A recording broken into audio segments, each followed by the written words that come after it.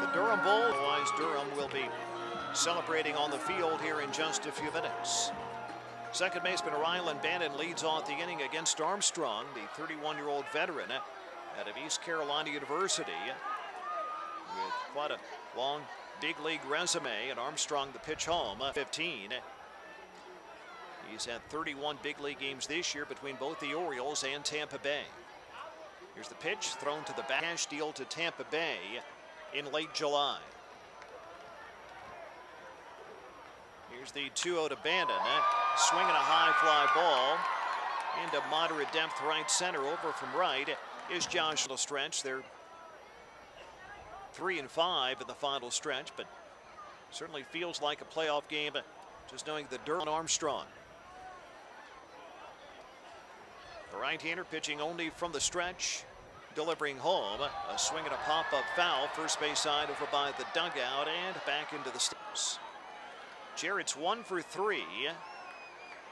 And the pitch to him, tried to check the swing at a high. Tied to been out hit 13 to 7. Each team has one home run. Armstrong delivers. Swing and a fly ball towards the alley in left center field. That's down for a base hit.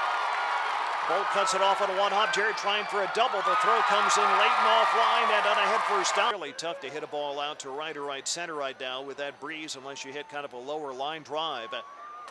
Any high arcing fly ball would be knocked down by that. Two home runs against left-handed pitching this year. And again, it would take a, a pretty mighty thump into that wind to get one out to right or right center. One strike count. Pitch home, fly ball towards left. Drifting back on it, there is Bolt. He's under it for the catch. Tagging is Jarrett, advancing on to third. The throw comes into the cutoff man Walls. And now he's trying for saves back-to-back -back days here with Durham. The Bulls are one out away from the final stretch championship.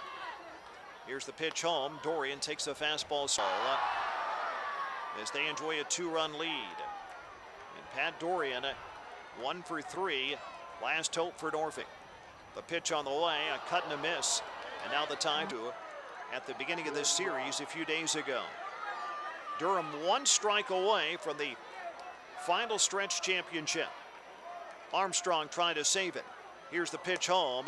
Called strike three. A fastball at 95.